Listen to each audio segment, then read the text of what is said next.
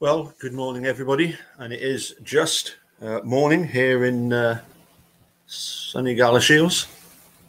Um, first of all, before I forget, um, tomorrow, tomorrow evening my time, 10 o'clock my time, 4 o'clock central time, um, going to catch up again with uh, Millbilly.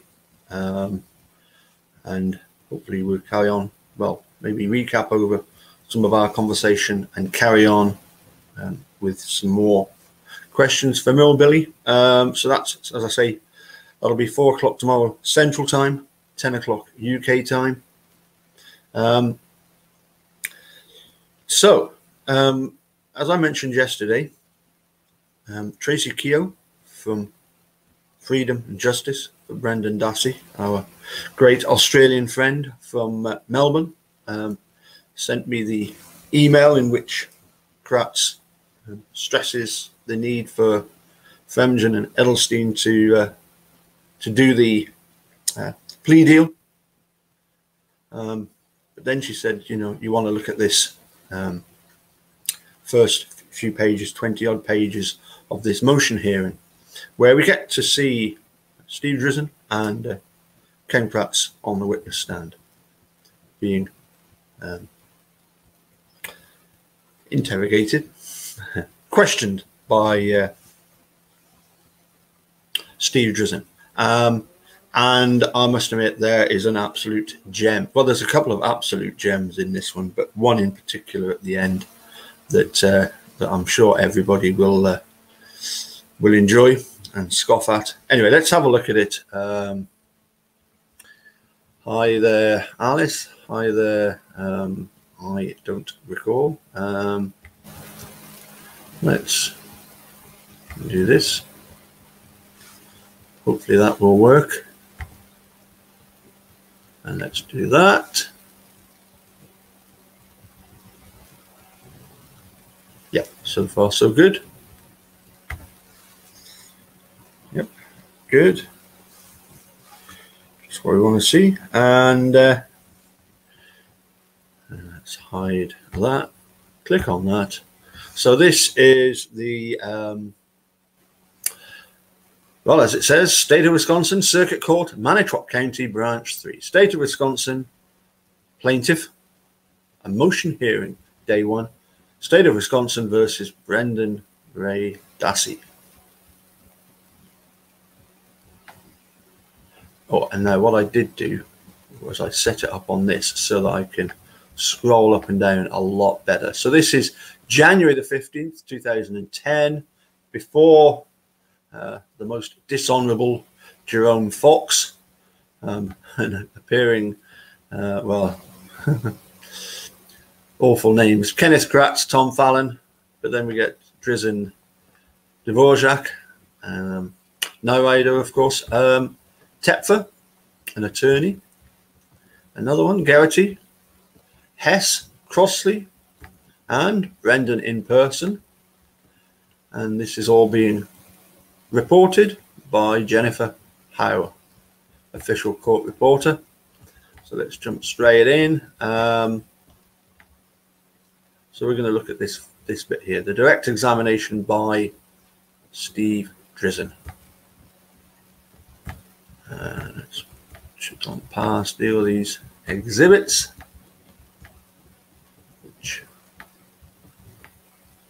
Leads us to Jerome Fox telling us that this is State of Wisconsin versus Brendan Dassey.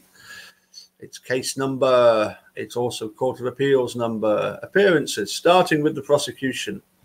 Fallon, morning, Your Honor. May it please the court. State appears by special prosecutors Tom Fallon from the Attorney General's office and Ken Kratz from the Calumet County District Attorney's office. This must be just before he had to resign, wasn't it? You know, yeah, January 2010. It wasn't until later on in 2010 that Calumet finally got rid of Kratz. And Drizin, good morning, Your Honor. If if it is it okay if I introduce my team? Fox says, go ahead. Uh, so Steve says, okay, for the record, on behalf of Brendan Dassey, I'm Steve Drizin. To my left is Laura Nirider. Sitting at council table, assisting with the technology today, is Alex Hess. He is a third year law student at Northwestern University of School of Law. In the first row is Mr. Jo- Joshua Tepfer. He is a law professor at North Northwestern Law School. Sitting next to Mr. Tepfer is Miss Ada Crossley. She is a third year law student Northwestern University. To her right is Mr. Tom Geraghty. He is a law professor and a director of the Bluhm Legal Clinic, clinic at Northwestern Law School. And behind me is Robert Dvorak, who is co-counsel with me on this case. So Fox carries on. All right, thank you. I'm going to give a short introduction to the hearing here today. This is a case in which the defendant, Brendan Dassey, was, was charged on March the 3rd, 2006. And before I forget, the record will also reflect that Mr. Dassey is here personally. Was charged on May the 3rd, March the 3rd, 2006, with being a party to the crimes of first degree intentional homicide, first degree sexual assault, and mutilating a corpse. Isn't it great how, again, Fox hasn't got a clue what date any of this is. The victim in all three charges was Teresa Halbach, who was murdered on August, on October, so he, at least he's got the right month here, the 30th, 2005. Ah, oh dear. Mr. Dassey, excuse me, was tried in Manitowoc County by a jury chosen in Dane County. The jury returned guilty verdicts to all three charges on April the 27th or April 25th, 2007. On August 2nd, 2007, this court sentenced Mr. Dassey on the intentional homicide conviction to life in prison with the possibility of release to extended supervision on November the 1st, 2048. Additional concurrent sentences were given for the other two convictions. The defendant, through his counsel, filed on August 25th, 2009, a motion under Section 80930 of the Wisconsin statutes seeking post conviction relief. Specifically, Mr. Dassey is seeking a new trial.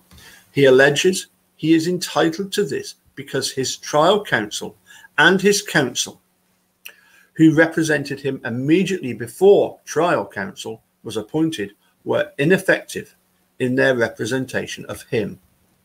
He also requests a new trial in the interest of justice because he alleges that the real controversy was not fully tried and his conviction represented a miscarriage of justice. To prove ineffective assistance of counsel, a defendant must show deficient performance and prejudice resulting from that deficient performance a hearing is required, and that is what we will be starting here today. In Wisconsin, this hearing is also is often called a Machner hearing, either Machner or Machner, probably Machner hearing, because part of its origin lies in a case entitled State of Wisconsin versus Machner. I'll go with Machner. Now, Mr. Drizin, have I correctly summarized what relief your client is seeking. That there's nothing else that you have in your motion. Steve replies, I believe so. We are we are seeking two forms of relief. A new motion to suppress Brendan's statements and a new trial. Um, and the only other thing I will say is is that we believe there are two standards operating in this case to judge the ineffectiveness of Mr. Kachinsky's conduct and those include the Strickland standard, which you articulated, the prejudice standard, and a different standard that governs uh, conduct by an attorney when they are in a, a conflict of interest and there's a breach of a duty of loyalty, which we've labeled labeled the adverse effect standard.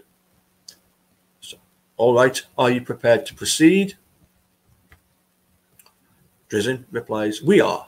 There's one preliminary motion, but we're prepared. Tom Fallon then pipes up, and just so the record is clear, we take issue as to whether or not there is a bifurcated standard here and whether it applies in this particular context. Not the, exist not the existence of it, but whether it applies here. Uh, Fox replies, I understand. Go ahead. Motion. So Steve starts off. I'd I'd have Mr. Dvorak argue this initial motion, Judge.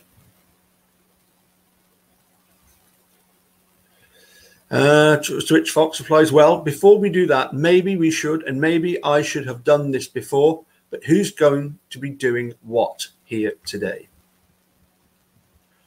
Uh, Drizin, uh, we're going to be examining separate witnesses. Depends on whether or not the witnesses who we subpoenaed show up. Mr. Kachinsky was subpoenaed to be here today. He has, to the best of my knowledge, not appeared yet. And that witness is going to be examined by Mr. Dvorak. I'm going to be examining um, Mr. Kratz, and Mr. Is going to be examining uh, Tom Fassbender, uh, Tom Fassbender, and we get Burton Ernie if we get that far. So uh, Fox replies, "All right, uh, Mr. Dvorak, your motion." Uh, to which um, obviously Bob Dvorak says, Judge, it was just a motion, I think, that was brought earlier to exclude witnesses. Um, and there was, in my understanding, some argument by the state that uh, somehow they, their view of themselves as being in a rebuttal posture. Um, and I guess I'm not sure that I understand what the argument is, but we're asking that there be the standard order to exclude witnesses and that they not be allowed to discuss their testimony. To which Fox replied, That's fine. I think this, what Mr. Dvorak is alluding to, was a conference that was held in chambers, I think, on the afternoon of the 12th, Tuesday of this week, in which we discussed this. The court said that it would sequester or separate witnesses. Um, Mr. Kratz suggested that since his case was a rebuttal case, although the witnesses that we were talking about were Wiegand and Fassbender, both of whom I understand are going to be called by the defense in any case. Is that uh, so? We'll have them sequestered. Uh, to which Tom Fallon replies, I, I do have one request for one exemption under that order. It would be investigator Skorlinski, um, who assisted us in conducting some of the interviews in preparation for the, these proceedings. Um, he's not available today because he's still in another trial in Marinette County, so he will not be available until next week in any event. So we would ask for an, exemption under 90615 for him to assist us in presenting um, information in this case, particularly for the purposes of conducting cross-examination. Uh, any objection to that, Steve? No, not at all, Judge. Judge. All right, Drizin. And we have one request for an exception, um, and it's only because her testimony is going to be very narrow and really not focused very much on the issues in this case. And that's that Brenda's mother be allowed to remain in the room during the course of this hearing. Uh, to which Fox says, fine although Fallon replies with, um, I would object to her presence during the testimony of only two witnesses. And that would be, guess what? Bert Nerney. Absent that, she can stay for the rest of the hearing. Um, all right. And Steve says, I don't have a problem with that. So, carrying on with that qualification, we'll do it that way. All right. Now, are we set? Um, Drizin, yeah, we are set, Judge as our fir first witness. The defense calls Kenneth Kratz. Kenneth Kratz, called as a witness hearing, having been first duly sworn, was examined and testified as follows. Uh, state and name and spell your name, last name for the record, K. Ratz. Um, and Steve carries on. Judge, just a quick question. Um, would you prefer that I stand up to address the witness? Does it matter? the microphone he the microphone's here, so uh, to which Fox says, matters not to me. Okay, thank you, Judge, says Steve. So here we go. Um, question, Mr. Kratz, uh, may I call you Ken or Mr. Kratz or District Attorney Kratz? How would you like to? To which Kratz replies, I answer to everything. I bet you do. yes, uh, I can think of a, of a few very, very good terms to describe you, Ken and I'm sure you answer to them all. Uh, but Ken is fine, Mr. Drizzle. Okay, thank you. How long have you been the district attorney of Calumet County? Yeah, since 1992. And remember, there's huge speculation about his previous job. When he was in his previous job, that he um, he was up to no good, and obviously this confirms it. Okay, and how long have you been a prosecutor? Since 1985. So I think we can safely assume that since 1985 he has been the pervert that uh, that we all know him to be. Anyway, okay. During the course of your career, have you ever been a criminal defense lawyer? No. Of course, interesting, isn't it? That um, by the time Making a Murderer came out, he was a defense lawyer. Not a very good one, of course. Okay, next. Okay, carrying on with Steve. And in the course of your career as a prosecutor, it's fair to say that you've been involved in a fairly high number of high profile cases. Yes. Okay, would you agree that the Steven Avery and the Brendan Dassey case, if I can refer to them together, was the highest profile homicide case you had ever been involved in as a prosecutor? To which Ken replies, I believe it was the most watched homicide case in Wisconsin history. So I suspect that's true. Well, now we know, Ken, it's been watched, making a murderer by millions of people throughout the world. And we can all see what the terrible, terrible creature you are. Okay, um, now I want to begin with your early involvement in this case. Why was a special prosecutor needed in the prosecution of Mr. Avery and Mr. Dassey's case.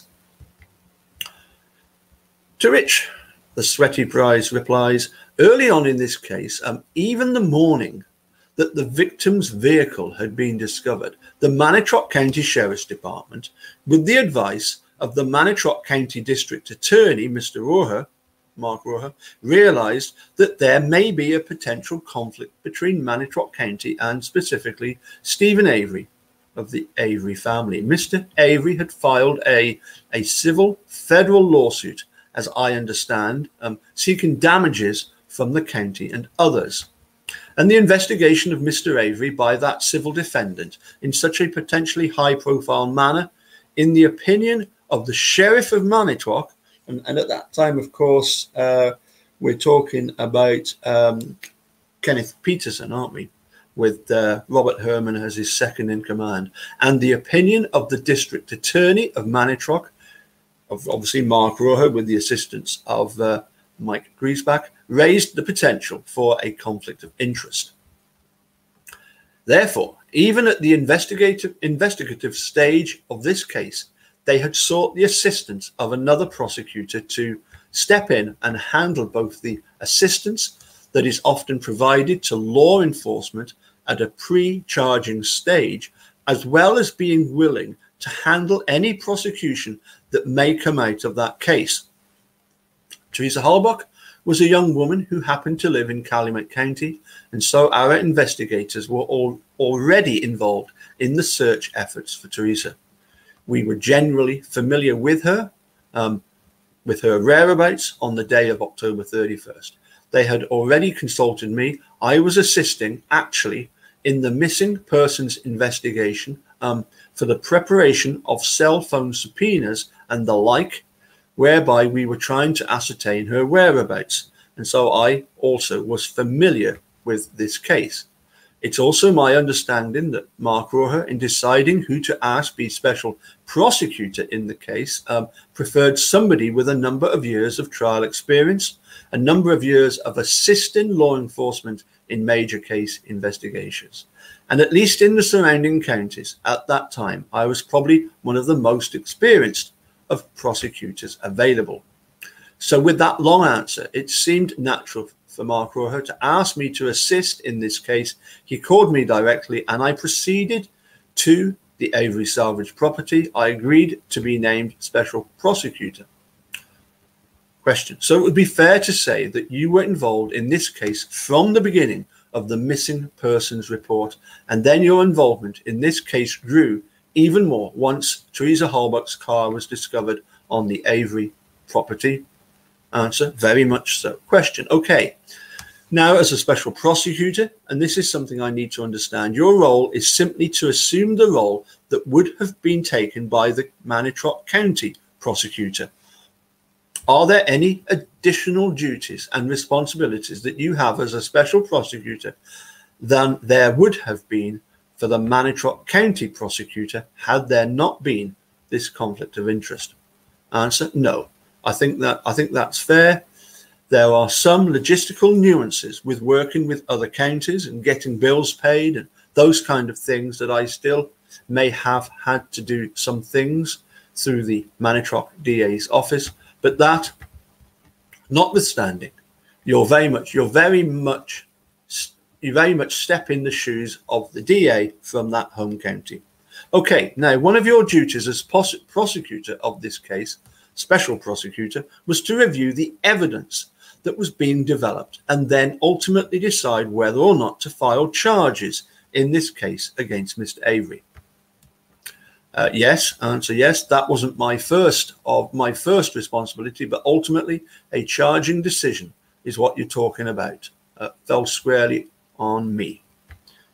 Question. Okay, that's what I wanted to know. Now, at the time that you made a decision to charge Mr. Avery with the homicide in this case, you did not know exactly what had happened to Teresa Halbach prior to the time that her body had been burned, correct? And of course, this is a bit of the uh, footage that we see, isn't it, of um, Ken Kratz being called to this hearing and being asked this specific question by Steve Drizin. And he says, I think that's fair. Okay. And at the time that you filed criminal charges against Steven Avery, for the murder of Teresa Halbach, you did not have sufficient evidence at that point in time to support sexual assault charges against Mr. Avery. Correct? Uh, that, that's true.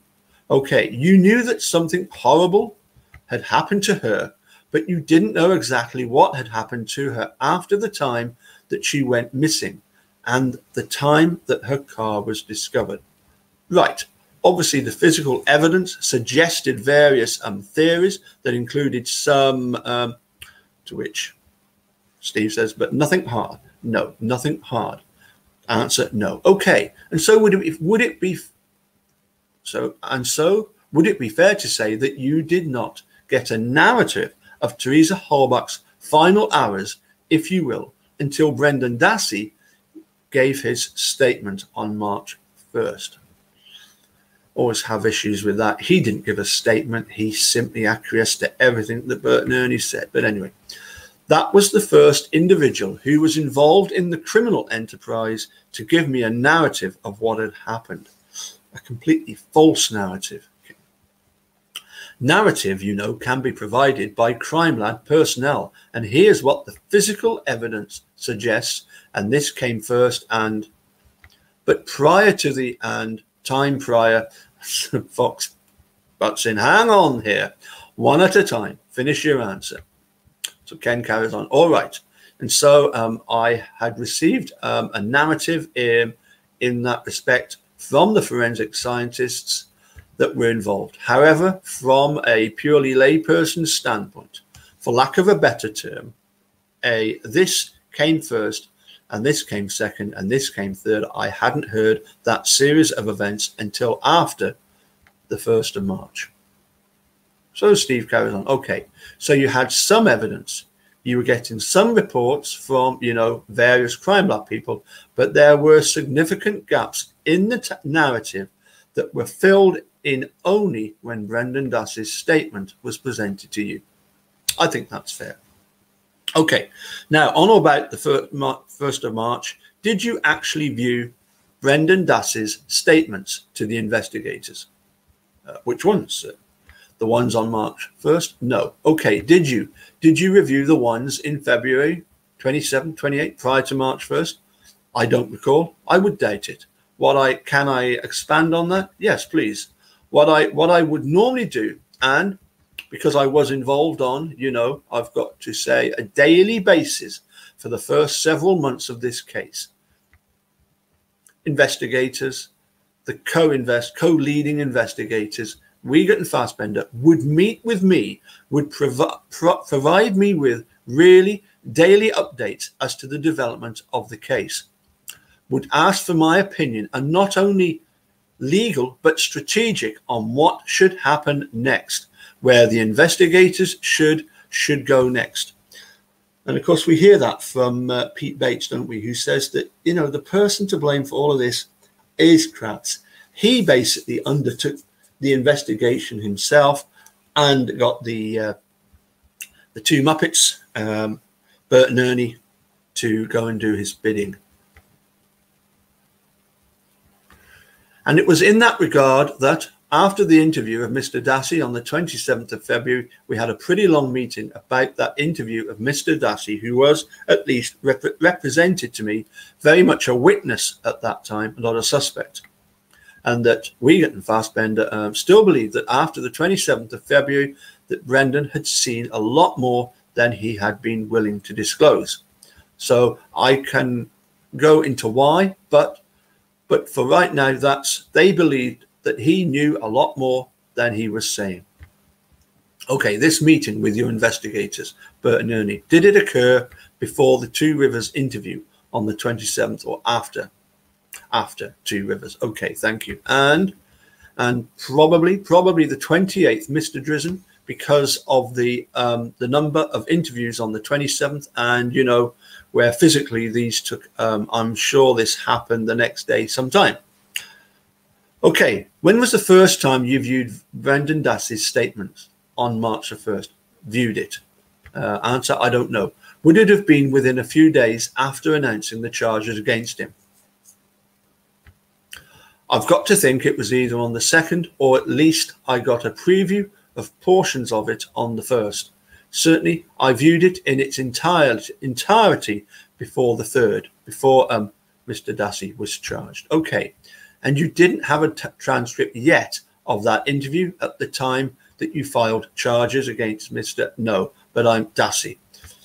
Quite certain I watched it from start to finish, including, as you know, the last couple of hours, perhaps of virtually nothing happening on the tape. So, but I still watched it all the way through.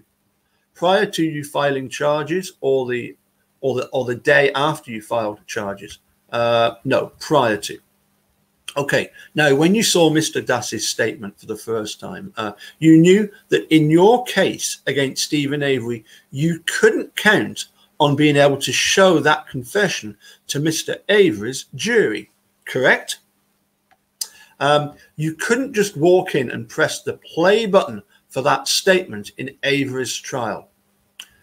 Yeah, you're you're asking that I I think a lot about a co-defendant's um, statement and how I might strategically um, weave that into Mr. Avery's case. I wouldn't say that it was at the forefront of, of any decision making. Um, if you're asking me if I was familiar with the law of co-defendant statements, the necessity of some kind of immunity, the, necess- the, the necessity of some kind of plea deal the necessity of thinking 10 steps ahead in this case. Uh, I probably was cognizant, cognizant of all of those things. That's what a prosecutor does. But on the third, certainly um, my focus was on uh, choosing charges against Brendan Dassey that were supported not just by his statement, but by the corroborative physical evidence that we had at the time. physical, corroborative evidence at the time. But at some point prior to the trial of Mr. Avery, you were thinking about the evidence you had obtained against Mr. Avery, and you realized, for the reasons you discussed, that you could not use that statement without immunity, some kind of plea discussions, some kind of other activity on your part. You couldn't just play that tape in the something Steven Avery. Pre trial would have to happen to play that tape Thank you. Okay, now, did Mr. Dassey's statement enable you to amend the charges against Steven Avery? Yes. Okay. And after Mr. Dassey's statement, how did you amend those charges? Are you talking about Mr. Avery's case now? Yes. Uh, I added charges of sexual assault, uh, kidnapping, I believe, and something else. Okay. There was a sixth charge, and then I, I should know this, but but I don't know what the sixth charge was. I'm sorry. It's been a long time. I don't expect you to know everything about this. Okay. Prior to Brendan Dassey's case, or let's say prior to your involvement in Steven Avery's case, had you ever met Len Kachinsky? Yes. What was your relationship with him? Len was a defense attorney in the Appleton area. A strictly a professional relationship, Len and I have never seen each other socially. Um, unlike some other attorneys in town that I do have closer personal relationships with. I did not have that kind of relationship with Mr. Kachinsky, so it was purely profession, professional, and I I think um, I think always prosecutor, defense attorney. We some some defense lawyers will do guardian ad litem work or other work that I will do, and we're aligned in interest on a case. But Mr. Kachinsky and I were professionally, at least, always in a adversarial always in an adversarial posture. Okay, um, just a brief geography lesson. Appleton is in Calumet County. And so the south side of the city is in App of Appleton is in Calumet. Okay, Apple, Appleton, Appleton's in three different counties. Okay, so had you ever tried any cases with Mr. Kachinsky? I believe I have. Those cases, did they go to trial actually? Not sure. Okay, have you entered ever entered plea agreements prior to the Avery case and the Dassey case with Mr. Kachinsky? Most certainly. Would it be fair to say that many more of the cases you were involved in with Mr. Kachinsky resulted in plea deals as opposed to trials? Many more of the cases with every defense attorney ends up in a plea deal. Steve carries. I understand that. But with Mr. Kachinsky in particular, that would still be the same answer. Yes. Okay, now Mr. Kachinsky was appointed to represent Brendan Dassey in early March of 2006, correct? Uh, after, yes, after Mr. Sczygelski withdrew from the case. Okay. And shortly after Mr. Kachinsky began, was appointed to represent Mr. Dassey, he began making public comments to the press um, almost from the minute he was appointed to this case.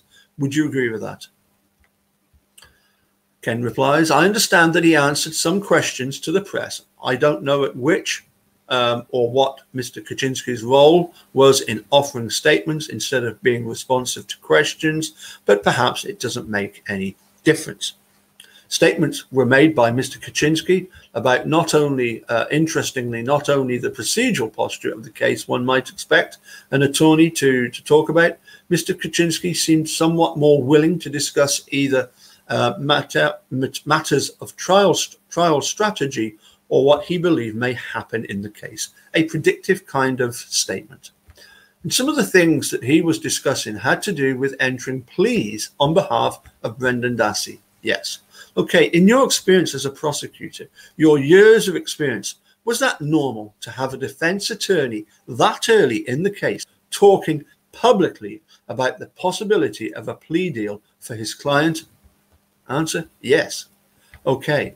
And in fact, I, I, I should tell you with his with some of the statements that he was sharing, and, and it's not totally unique for a defense attorney to want to paint his client in a positive light uh, with the media. Um, but Mr. Kachinsky seemed to um, adopt that role quite quite vigorously.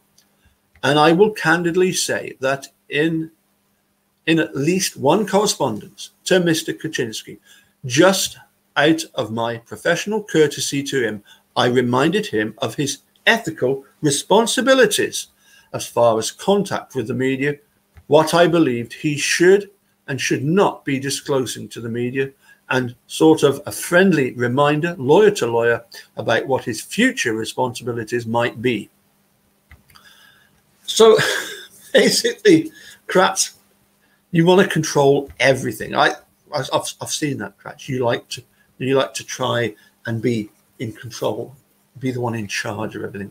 But I don't want to sound. I don't have an agenda in doing that. Oh no, Ken, no. Perish the thought anybody would ever think that. I certainly did as well. I wanted it to stop. I hear you, and you know, just so I'm clear, this is this this one instance where you uh, you know communicated with some of your concerns. This was by email in in about April of April the 14th, I believe. I think that's fair of 2006. So prior to April 14th, you made no attempts to contact Mr. Kachinsky concerning his comments about plea deals on behalf of his client. Okay, I don't know if that's true or not, Steve. I think what likely would have happened is during our ongoing discussions, unrecorded oral type discussions about the case, which happens in virtual ev- virtually every criminal prosecution, that topic may have come up. I'm telling you, I don't recall it, nor do I have a record have a recorded um, representation of that, like that email that you're referring to. Okay. Steve on. Judge, just one matter, please. Um, we had an order for a motion to exclude witnesses at the beginning that was granted. Mr. Kachinsky is not here today in the courtroom. I just want to clear, make clear for the record that I'd like you to extend your order. If Mr. Kachinsky is at home watching this on some television screen or it's being streamlined, that he is not to be seeing what's happening in this courtroom in any way, shape, or form. Fox, all right. Thank you, So Steve. Okay, motion is granted. Carrying on by Steve. Okay, now, um, this is the first time we're going to do this. Mr. Kratz. So I'd like you to turn to tab number 310 and I will get that for you right now. It is in binder number five, I believe. I think I have it here. This looks like the health care bill. Question, it does. To which the uh, judge replied, let's keep politics out of this. Uh, says, except I've read those, judge. So that's the difference. So um, Tom Fallon says, which one, counsel? Um, to which Kratz replies, 310. Steve, 310, the witness. All right, I found it. Uh, so carrying on. Okay. Um, on March 7th, 2006, uh, Mr. Kratz or Ken, um, Mr. Kachinsky, and Mr. Sczygelski appeared together on NBC local NBC TV um, and criticized you for the amount of detail that you released to the public in your complaint. Do you recall that interview? No. Okay. Would reading a summary of that interview refresh your recollection? No. How do you know if you haven't read the summary? Uh, answer: Because I'm I'm sure I don't recall Mr. Kachinsky or Mr. Sczygelski being critical of the amount of detail that was found in a criminal complaint. That's something that I would have remembered and would be very unusual. But um, I can assure you, as I sit here, that I wasn't aware of the criticism, at least from Mr. Kachinsky and from Mr. Sczygelski, as to the content of the criminal complaint. Okay, this is a multi-page exhibit. If you wouldn't mind turning to the third page of this exhibit, Mr. Kratz, at the bottom it says Len Kachinsky. That's his attorney. And there's a quote attributed attributed to him. Do you see that? I don't. Uh, there's there's a bunch of different page numbers. And so if you see at the very bottom of the page, uh, Steve says, may I approach the witness? Uh, sure. It's the third page one, the witness, the third page one. Okay. This is more like that bill than I thought, actually. Steve, had you have you had an opportunity to read the comment contributed to Mr. Kachinsky there? That the, the last comment we have, beginning with uh, we have a 16 year old court reporter. One at a time, please. Steve carries on. The one beginning with, we have a 16 year old. Uh, yes, I see that. Do you recall at the time of March the 7th or shortly thereafter hearing Mr. Kachinsky speak publicly and saying, We have a 16 year old who, while morally and legally responsible, was heavily influenced by someone that can only be described as something close to evil incarnate. Do you recall that? No. Okay, do you recall comments like that that he was making in this general time frame? No.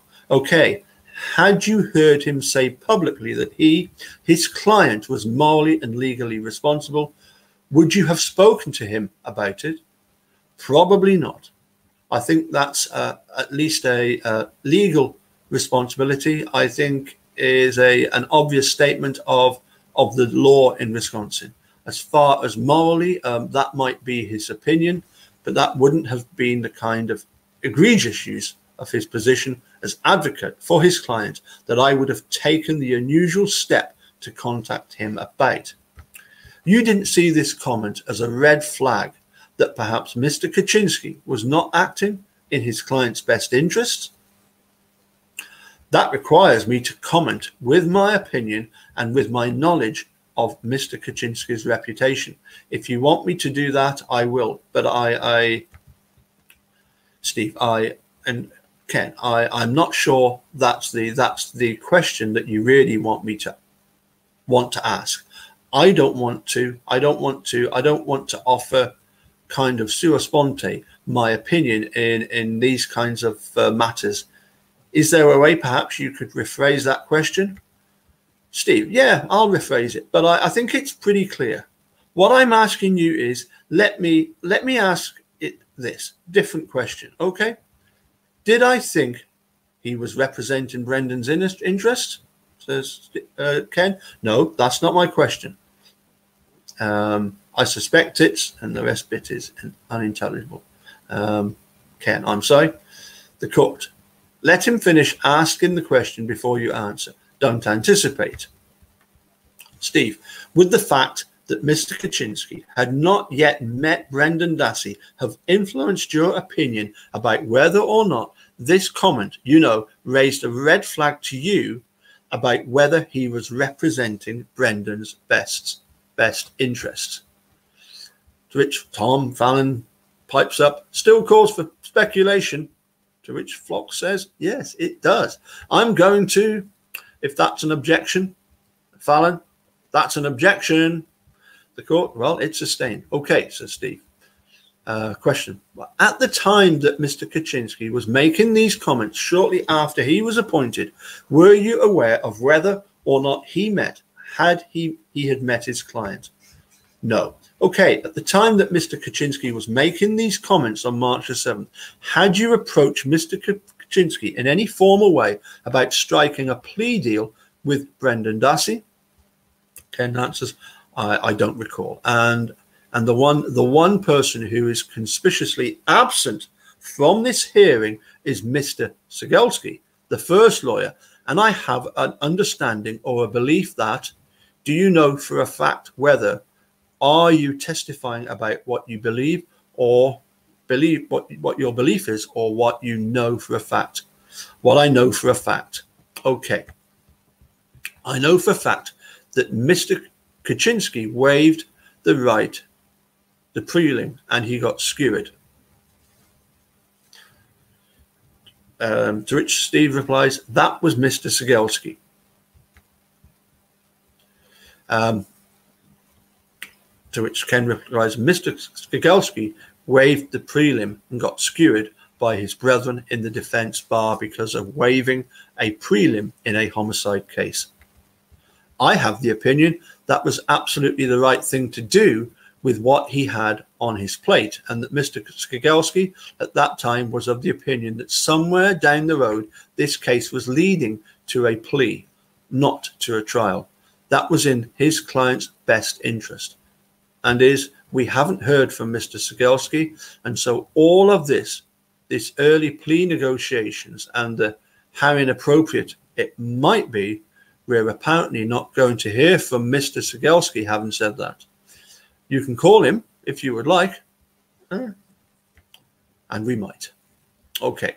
Having said that, however, uh, Mr. Um, Kachinsky, taking the same practical approach with what he knew at the time, trying to paint Mr. Dassey in an incredibly difficult set of facts in a positive or neutral light, with not only the media, but with me, was going to be an uphill battle. This appeared to me to be the beginning of that process. So, to answer the question, I'm not necessarily sure that's an unusual step for a competent defense attorney to take. Same day he's been appointed counsel? Absolutely. Get on it. Okay. Um, in can you imagine a situation where a self-respecting defense attorney would discuss publicly a plea deal in a murder case for a client that he believed was innocent? Now, this is typical Ken. I don't know how many self respecting defense attorneys there are, but the ones that you are theoretically talking about um, don't walk into a representation thinking whether their client is innocent or, or guilty. Okay, can you imagine? In fact, if I can, if I, a self respecting defense attorney, uh, whether they're innocent or not, would not be inclined in the calculus as to whether would not be included in the calculus as to whether or not he can achieve a positive disposition for his client. Steve, Mr. My point, perhaps here, is that when Mr. Kachinsky was making those these comments, he was telegraphing to the world that it was his opinion that his client was guilty. Correct?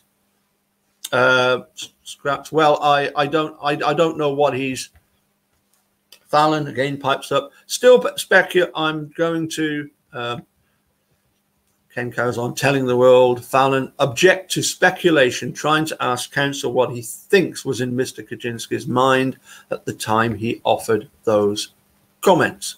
I can come up with three variations right now, just thinking in the top off the top of my head. So, uh, Steve, I'll with Fallon. I'm going to Steve. I'll with Fanny, Fallon, object. Drizin, I'll withdraw the question. the court, all right. Um, Steve, it would be fair to say, though, Mr. Kratz, that at the time Mr. Kachinsky was making these comments, you did not have any kind of a written plea understanding with Mr. Kachinsky. That's fair. Okay and any discussions with him about pleas would have been at the very preliminary stages. Absolutely. Do you know whether at the time Mr. Kachinsky was making comments to the press about his client's guilt, whether he had viewed the statements that his clients had clients had made or listened to them um, prior to making those comments? I, I don't know, and and I'm quite sure I wouldn't have had that conversation with him at that early stage, whether or not he had viewed the viewed the videotape. The odd thing, this is this is the best thing. This is absolutely classic.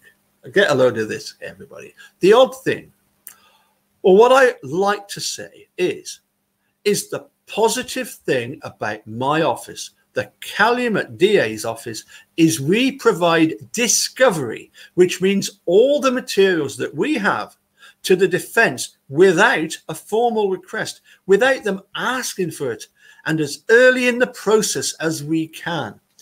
What an absolute load of rubbish, Ken.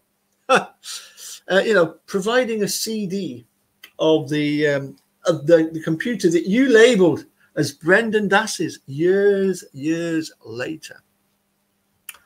Oh dear. Oh dear.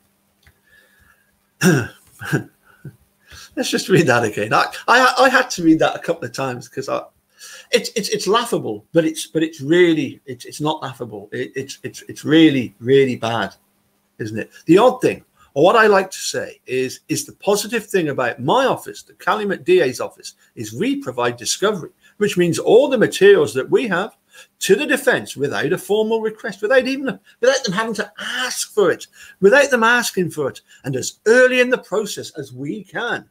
And so I do that for the practical benefit of the potential for timely plea, plea discussions or dispositions. And so I don't even know whether Mr. Kachinsky had the DV at that time.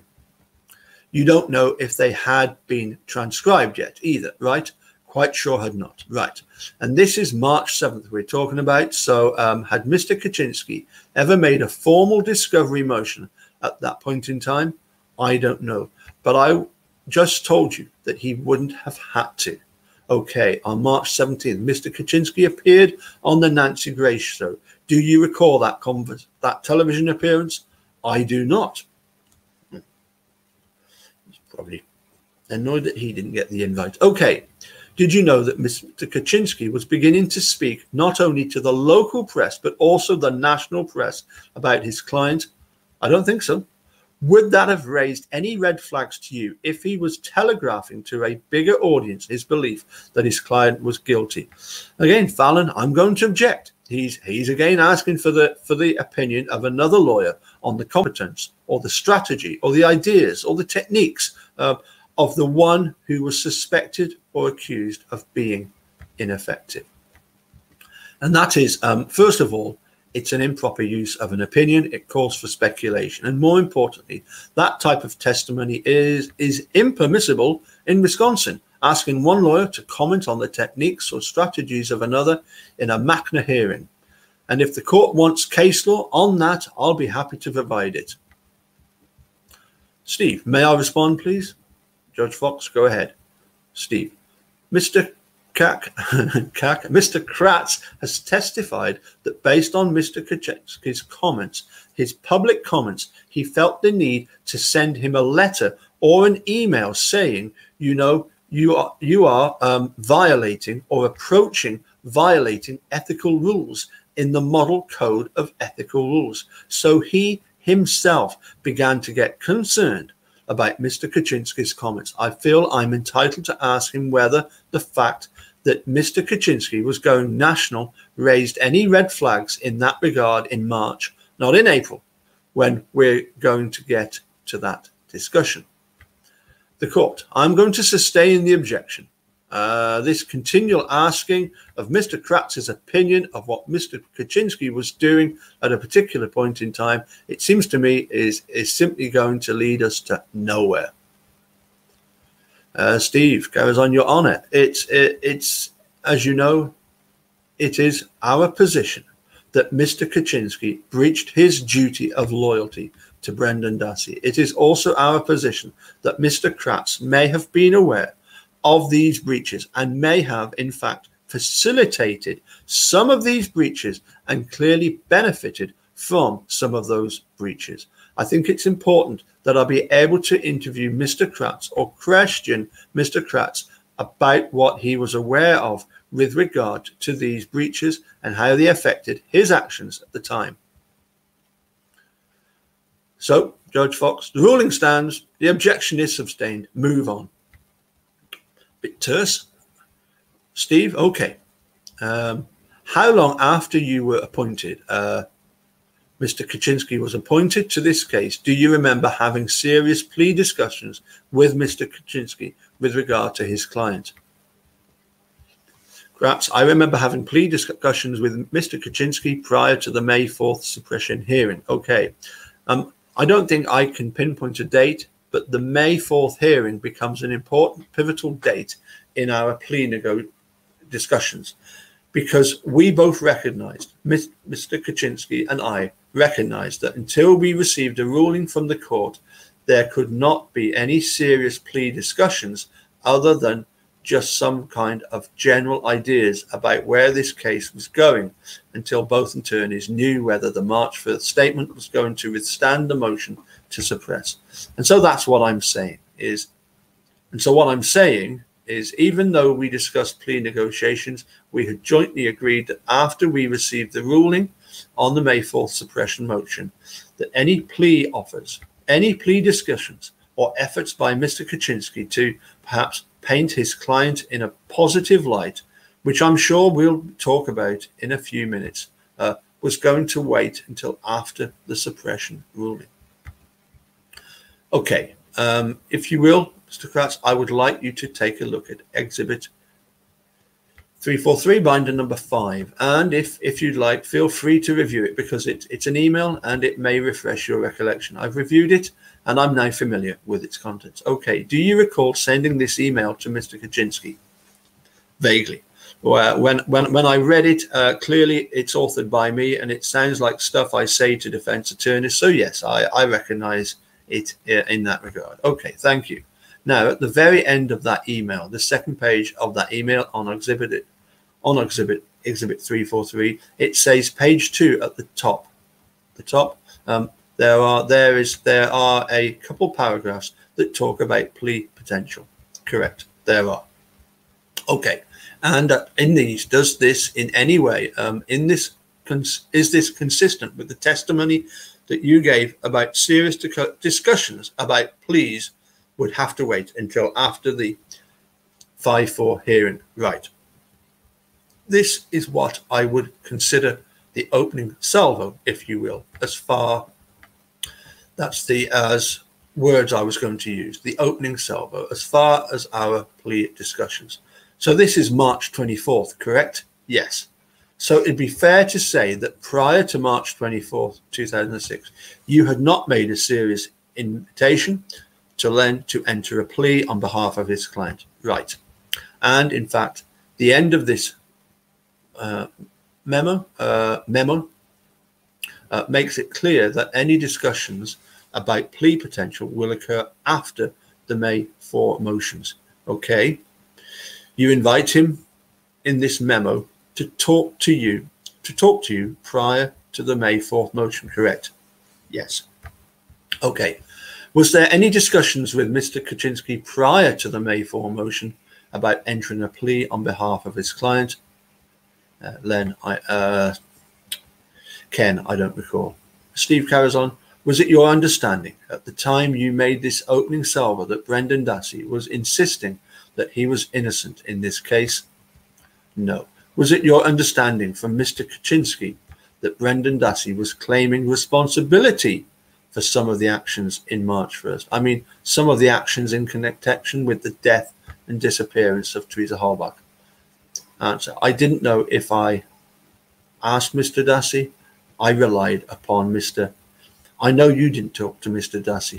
Oh no, I, I'm sorry, Mr. Kachinsky. I was re- relying upon Mr. Dassey's own statements. Right. On the first. And let's be fair, uh, Mr. Dassey was engaging in a number of conversations with his family in which he described various topics, but things like whether Brendan should engage in a plea discussion, but more importantly, whether Brendan should testify against Uncle Steve, or discussions frequently had with Brendan's most immediate and with his extended family. But you knew that he had recanted his confession or his statement on March 1st, that his position was that was that that statement was not true. You know, as of the 24th of March, I'm not sure I did know that. Okay, I'd like you to look at page one, if you would, of this document. Just go back a page and focus on the bottom paragraph, if you will. Yes, in this bottom paragraph, you how would you characterize what you said to Mr. Kachinsky in this bottom paragraph? I don't want to do it for you. Uh, this requires that I step back uh, just very slightly, just just this one step, as to the state of the investigation at this time. The investigation had, although been thorough, uh, was far from being complete. When you look at a serious crime scene, um, it's important from a law enforcement perspective and this wasn't news to me, but you look at what's there and you look at what's not there. You look at what's missing, right? And in this case, there was one item of what we believed was significant physical evidence that had not been recovered. And that was Steven Avery's digital camera. We knew Steven Avery had a digital camera. We knew he had it at his home. We knew from his girlfriend, Jody, that he had taken digital photographs. And we suspected, as you think about a case like this, that a digital camera of Mr. Avery might yield some important evidence. Up to this point, we were not able to ever find the digital camera. And so my suggestion to Mr. Kachinsky is there are some items of physical evidence that are still missing that haven't been discovered. One of those, and I even identified the digital camera. That digital photos may exist and suggested that in a discussion with his client, that is exactly the kind of information that the state would find helpful. Okie dokie. Um, I think we'll hold it there. Um, clearly, yesterday we were talking about the um, the plea deal. Um, it's, I, I, I think, um, I, I, think most of us are pretty much of the opinion that these plea deals are a bit of a disaster. Um, they just lead to far too many people being being wrongly convicted. Um, I must admit, I did laugh at that paragraph about the fact that uh, Calumet doesn't even wait for people to ask for evidence. He just automatically sends off the stuff as soon as possible. Uh, what a load of baloney. Anyway, um, I better crack on. Um, let's see who all who's here. Let's start from the bottom and go up. Um, so hi T1. I uh, hope you're enjoying having that blue spanner. Dr. Suckman, hi there. Sean, uh, Joyce, Joyce Keith. Uh, what else have we got? Uh, yeah, Linda's here. Hi there. Hi, Linda. Um, I'd say that the usual suspects are all here. Hi there. Well, thank you all for, for joining in. I must admit, it was quite interesting to. Um, oh, Petra, hi there. Quite interesting. Uh, I haven't really. I don't think we get much chance to see Steve Drizin in action, do we? You know, um, interesting to see um, to see that. I thought the uh, comment by Ken about the fact that you know, in theory, if there if there are any sort of decent defense lawyers, I thought that was that was most uh, uh, most sort of uh, uncalled for and way, way below the belt. Um, anyway, apologies if you've read that that section already, but as I say, it was Tracy Keel that suggested have a look at it. Um, um, yeah, I, I, I, think it's pretty obvious that you know Len Kachinsky went in with there with the, the job primarily of uh, securing a, plea deal. Um, why else would you get Michael O'Kelly to do all that he did? Um, but I find it I find it strange to conceive that um, Kratz, Fassbender, Wiegert, uh, O'Kelly, and um, Kachinsky weren't all working together. I find that very hard to uh, to, to imagine. I might be wrong, but but as I say, I, I don't I don't see that as being the case at all. Um, anyway, as I say, thank you all for for joining, um, and uh, We'll catch you all again soon. Um, this evening, uh, music chat is with a very good friend of mine, a young fella from Dumbarton called William Scott, who goes by the name of Wooly. So I'm going to have a chat with him about all things Scottish accordion wise and continental, etc. Um, and then hopefully um, to make up for the fact that the audio wasn't wasn't terribly good on um, was it Monday night? Yeah, Monday night. Yeah, Monday night. Um, with Millbilly, we're going to have another get together and um, discuss a bit more of uh, his excellent work. Anyway, um, I'll say cheerio. We will catch you all very soon. Um, take care. Bye for now. Enjoy the rest of the day. Bye for now.